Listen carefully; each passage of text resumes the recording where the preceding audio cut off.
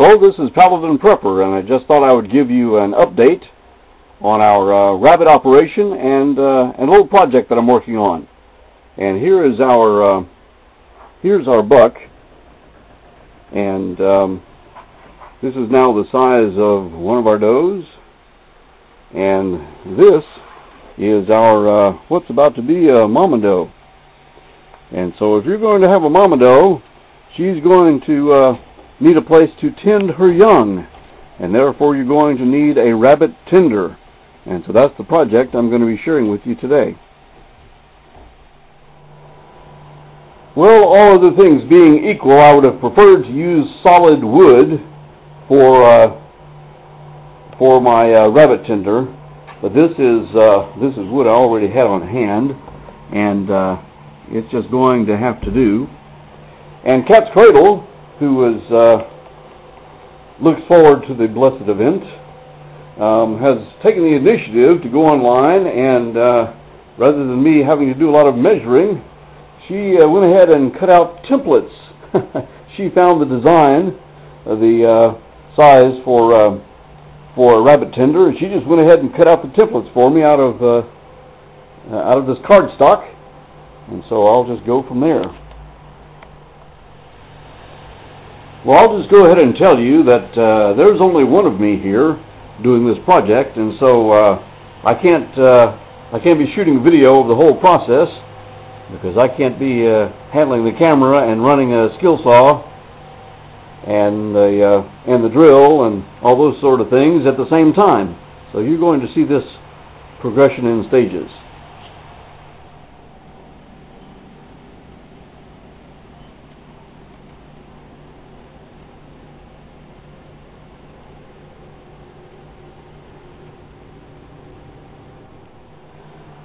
Well, I just wanted to uh, make a couple of observations here uh, as I pause in the project. Um, those of you who are, uh, are better craftsmen than I might say, well, I wouldn't have done it that way.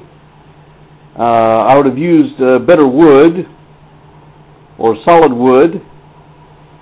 And, uh, and a younger man watching this video might say, well, I certainly wouldn't have uh, done it that way. But you know what? I'll tell you.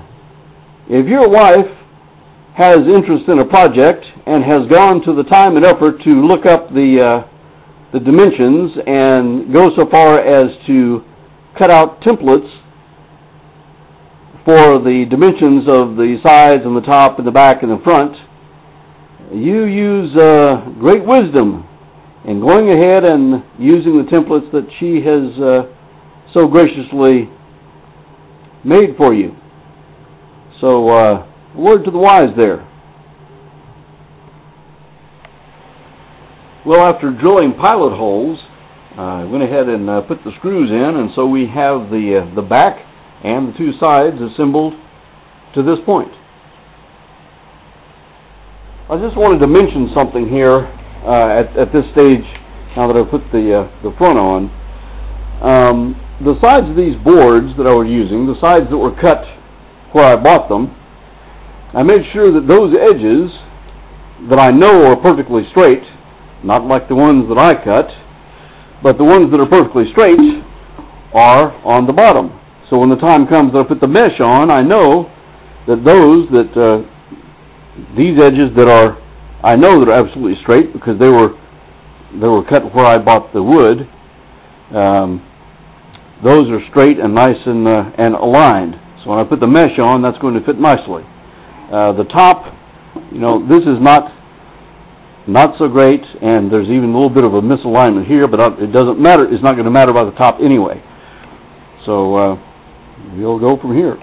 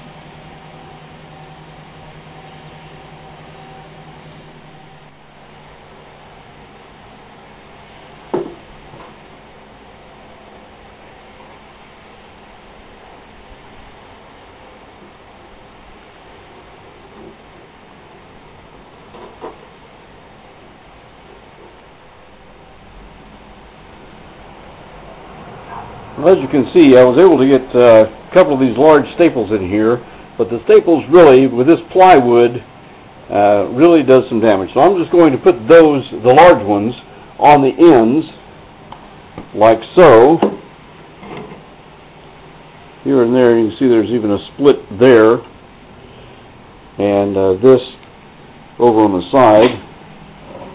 Alright, split there. So, what I've done now is, is notched out, cut a notch here on, and on each corner. And so now I'm going to uh, take another tactic.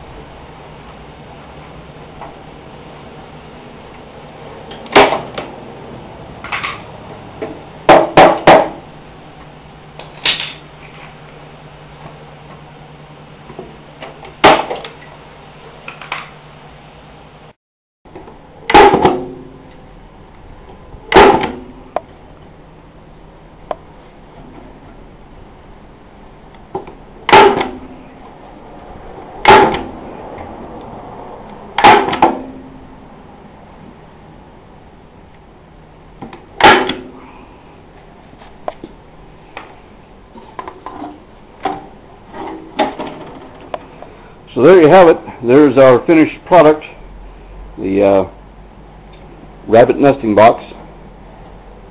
And it's uh, secured on the ends. Have these major staples here, which apparently were too big, but uh, was able to do the rest here. So uh, I'll see where it's going to fit. Well, as you can imagine, the way these things go, that uh, nesting box is too large to fit into the door of this rabbit cage. Uh, but I've been able to uh, loosen the clips here so that I can just open up this entire front and uh, we'll put it in that way.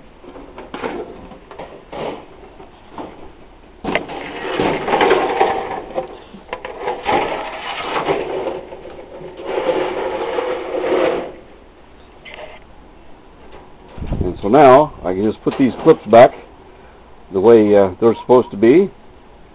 And that is how our nesting box is going to look inside the uh, rabbit cage. And when the time comes when that uh, doe reaches 28 days of gestation, we will transfer her into this uh, mama ready cage.